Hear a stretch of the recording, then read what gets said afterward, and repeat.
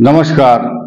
वृषभ राशि के लिए सबसे महत्वपूर्ण समाचार इस प्रकार है कि इनकी राशि पर गोचर ग्रह जो भी चल रहे हैं, उनका क्या क्या परिणाम होता है या कुंडली के अनुसार आपको किन किन ग्रहों का क्या लाभ मिलता है और क्या कौन सी दशा आपके लिए नुकसानदायक होती है? छोटा सा ये वीडियो है, आप ध्यान से सुनेंगे, आपके लिए बहुत लाभदायक रहेगा। हम शुरू करते हैं। वृषभ राशि की परिभाषा देखिए पहले, किस नक्षत्र से मिलकर के ये बनती है?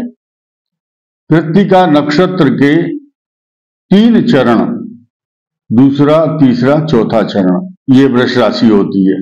रोहिणी के चार चरण तथा मृगशीर नक्षत्र जो मंगल का नक्षत्र है, उसके दो चरण आरंभ के, शुरू के दो चरण, ये नौ चरण मिलकर के बनती है वृषभ राशि।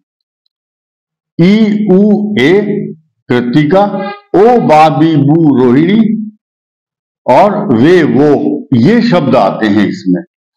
अब क्या होगा कि कृतिका नक्षत्र में जिसका जन्म हुआ होगा उनकी लगभग आप पूर्ण मान करके चलिए कि छह वर्ष की महादशा होगी सूर्य की, लेकिन उसमें से एक चरण तो निकाल दो।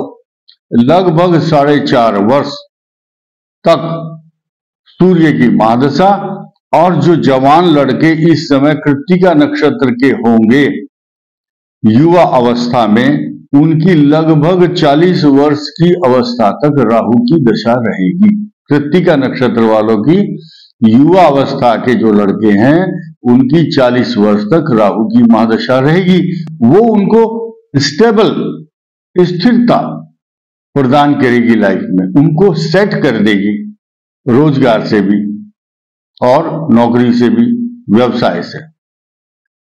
स्थिर हो जाएँगे और राहु कहाँ बैठा है, निर्भर करेगा कि उनकी कुंडली में कैसा फल दे रहा है।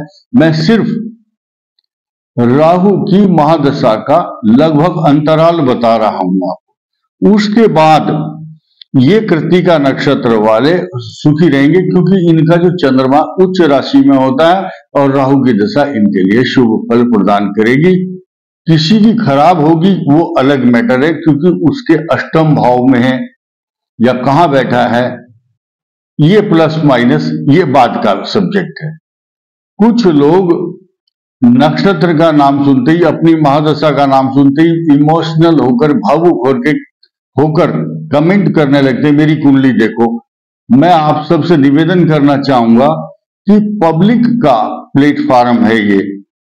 सामाजिक प्लेटफॉर्म है यूट्यूब। उस पर अपनी घरेलू बातें आप ना पूछें और क्योंकि रही मन पर घर जाई के दुख न कहिए रोए।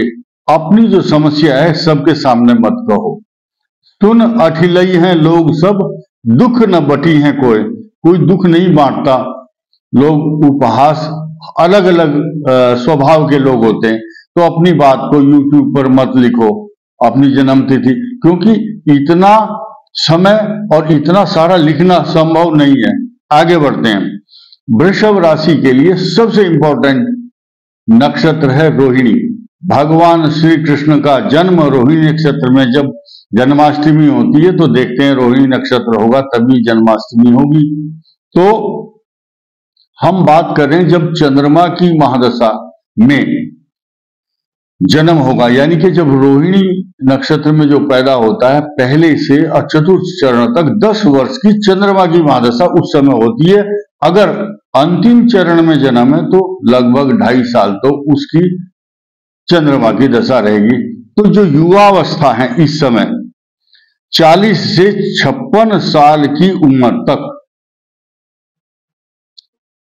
ये मैं दोबारा कृतिका नक्षत्र पर फिर आता हूँ, रोहिणी पर अभी दोबारा आऊँगा। 40 से छप्पन साल की उम्र तक लगभग उनकी महादशा बृहस्पति की होगी, जिनका जन्म कृतिका नक्षत्र में है। रोहिणी को हम अभी दोबारा चर्चा करेंगे। आप एक मिनट प्रतीक्षा कीजिए।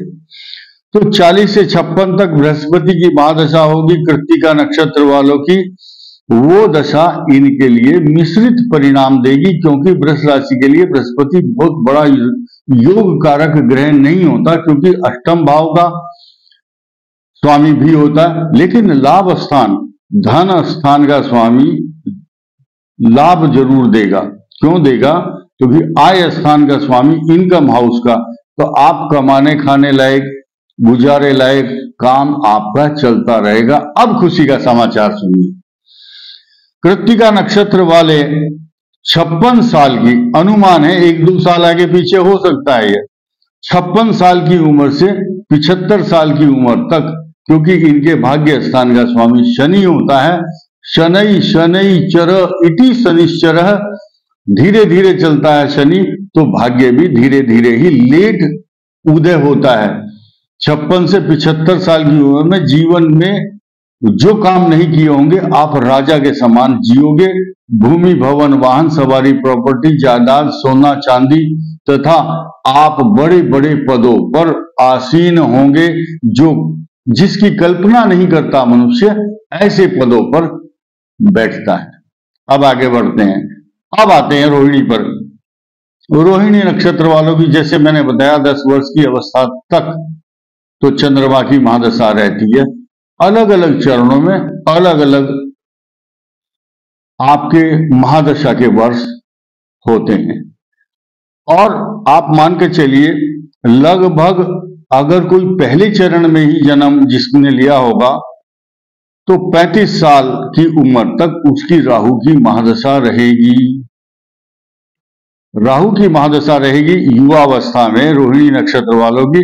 उसके बाद लगभग अनुमान 35 से इक्यावन वर्ष की उम्र तक। कम ज़्यादा भी हो सकता है इसमें। बृहस्पति की दशा रहेगी। बृहस्पति की दशा रोहिणी नक्षत्र वालों के लिए संघर्षपूर्ण होती है। इसमें इनको इतनी ज़्यादा मेहनत करनी पड़ती है।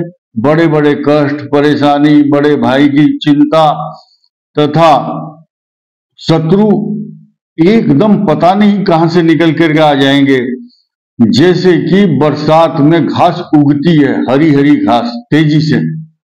इसी प्रकार आपके शत्रु विरोधी आपसे ईर्षा करने वाले बृहस्पति की दशा में होते उनका सामना करने के बाद जो अनुभव आपको बृहस्पति की दशा में होता है, वो अनुभव आपको शनि की महादशा में काम आएगा और वो आपको राजा महाराजाओं के समान सुखी बनाएगी। इतने एक्सपीरियंस होल्डर हो जाएँगे आप, चाहे बिज़नेस करने वाला हो या नौकरी करने वाला वो व्यक्ति उस अपने जॉब में इतना एक्सपर्ट और निपुण होता है कि वो ही can achieve everything with his own resources and with his own experience which he has gain in previous महादशा तो ये देखिए, बहुत बड़ी बात है। राजा महाराजाओं के समान वो शनि की महादशा में, और ये दशा इनकी लगभग 50 साल की उम्र से लेकर 70 साल के बीच। 19 साल की रहती है और 19 साल तक ये राजा महाराजाओं की तरह मेटीरियलिस्टिक चीज़ें, चल अचल संपत्ति बैंक बैलेंस तथा अनेक प्रकार के पदों पर सुशोभित होते हैं, आसीन होते हैं, इनकी गले में माला डलती है और तरक्की पाते हैं और शत्रु अगर विरोधी इनके सामने आ जाए तो वो टिकते नहीं है, उनको किसी भी ये न के न प्रकार, न किसी भी विधि से चाहे राजनीतिक सत्ता के माध्यम से, या प्रशासन के माध्यम से, या अपने प्रभुत्व से, या व्यक्तित्व से, कुछ व्यक्तित्व ऐसे होते हैं, वृषभ राशि वाले, उनको देखते ही शत्रु भाग जाते हैं। जैसे कि शेर के बच्चे को देखकर का हाथियों के झुंड का समूह भाग जाता है। तो आगे बढ़ते हैं। शनि की महादशा में वृषभ राशि वाले बड़े बड़े पदों को हासिल करते हैं, तरक्की करते हैं, मान सम्मान प्राप्त करते हैं। अभी आया मृगशिरा नक्षत्र। ये मंगल ग्रह का नक्षत्र है। चित्रा, धनिष्ठा और मृगशिरा, ये मंगल इनका स्वामी होता है। प्रथम चरण और द्वितीय चरण वृषभ राशि। लगभग 18 साल की उम्र तक तो इनको स्टेबल होने में लग जाता है। ये एक स्वभाव है ग्रह का। मृगशी नक्षत्र वाले राजा महाराजाओं की तरह आचरण करते हैं और डिसीज़न इनके बहुत क्विक डिसीज़न होते हैं। बहुत जल्दी एंग्री मैन भी कह सकते हैं, गुस्सा, जल्दबाजी। और 21 साल से लेकर के 21 साल की एज तक लगभग अपनी एजुकेशन कंप्लीट करके ये विदेश यात्रा करते हैं। या इनका भाग्य उदय होता है स्ट्रगल बहुत होता है, चोट बहुत खाते हैं। यानी कि गिरते हैं सहसवार मैदान जंग में वो क्या आ, गिरेंगे जो घुटने के बल चले? घुटनों के बल से नहीं चलना इनको। ये सीधे ऊँची उड़ान उड़ते हैं तरक्की करते हैं मान सम्मान अपनी बाई हुक एंड क्रुक किसी तरह से अगर इनको कोई सम्मान नहीं देता तो ये उस सम्मान को लेना जानते हैं। This is good quality of Mrigashira नक्षत्र they will achieve everything with his with their own resources अपने स्वाभिमान और बाहुबल से सब कुछ प्राप्त करते हैं। तो 21 अब मोटा मोटा हिसाब समझिए 21 साल से और 37 साल की एज तक इनको बड़ी अपॉर्चुनिटी पैसा मान सम्मान स्ट्रगल सब कुछ। लेकिन जितनी मेहनत करते हैं, उतना परिश्रम इनको, परिश्रम का पारिश्रमिक क्रेडिट नहीं मिलता। बड़े बड़े मैनेजर फैक्ट्रियों के या किसी भी कंपनी के या कहीं भी काम कर रहे हैं, चाहे व्यापार में, चाहे आप नौकरी कर रहे हैं, चाहे बिज़नेस में, काम आप करेंगे और क्रेडिट दूसरा लेगा। या अगर बिज़नेस में है, जो आप काम कर रहे हैं उतना धन लाभ, उतना मार्जिन प्रॉफिट आपको अभी नहीं मिल रहा है। लेकिन अब अंत में तीनों कृतिका, रोहिणी और मृक्षिरा इनकी तीनों की जब भी महादशा शनि की आएगी, ये इनको राज दरबार में सम्मान, प्रतिष्ठा, पैसा, नौकरी, जायदाद और कुछ लोगों के मन में एक बहुत पहले से ही निश्चय संकल्प रहता है। शनि की दशा में ऐसा व्यक्ति ज़मीन खरीदता है और फल जिसमें लगते हो, ऐसे पेड़ ज़रूर लगाता है। फलदार वृक्ष, अमरूद, आम, केला, सेब, पपीता, जो भी कुछ है तो ये उनका संकल्प रहता है और वो पूरा कर लेते हैं, अगर उनके ग्रह अनुकूल उनकी कुंडली में है। और खास तौर से, सबसे बड़ी बात, जिनकी कुंडली में शनि उच्च राशि में, मकर राशि में या कुंभ राशि में होगा तो वो तो निश्चित मान करके चलिए, वो तो राजा महाराजाओं की तरह से आचरण करेंगे, सब कुछ जो प्रिडिक्शन मैंने बताया, वो उनके लिए साकार होगा ही होगा। इसमें कोई संदेह नहीं है। इसके अलावा, शनि कहीं भी बैठा हो, वृषभ राशि के लिए योग कारक होता है, तुला के लिए भी योग कारक होता है, लेकिन वृषभ को ज़्यादा सम्मान और ज़्यादा तरक्की, ज़्यादा सपोर्ट क्यों करता है शनि?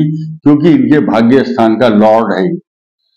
तो वृषभ राशि वालों को दीपावली की शुभकामनाओं के साथ साथ ये निवेदन करूँगा कि आप लोग शनि की उपासना करें, सुंदरकांड का पाठ करें, सात्विक अगर रहने की कोशिश करेंगे तो ज़्यादा अच्छा रहेगा। शनि की महादशा में इनके शरीर का जो वज़न है वेट ज़्यादा बढ़ता है वेट गेन नहीं करना है, नहीं तो आपको रोगों का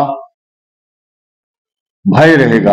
अभी वर्तमान गोचर में आपकी कुंडली में राहु ग्यारहवें स्थान में आए हैं, शनि मूल त्रिकोण में अपने घर में सश योग बना रहा है, इसलिए जितने भी वृषभ राशि वाले हैं और जिनकी शनि की महादशा चल रही है, अभी मुझे उनकी कोई शिकायत नहीं आएगी, ऐसी उम्मीद ही नहीं करता हूँ, विश्वास है मुझे। तो इस वीडियो में इतना ही। धन्यवाद, दीपावली की शुभकामनाएँ।